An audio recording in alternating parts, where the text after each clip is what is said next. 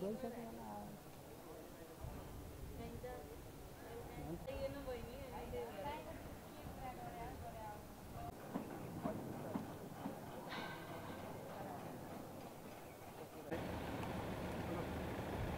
Jaga olmayan, bakın sorumlu.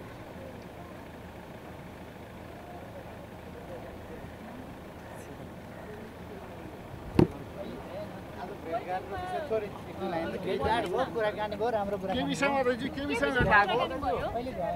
सजिलो लाउँदा एट्याक भएको विषयमा हो।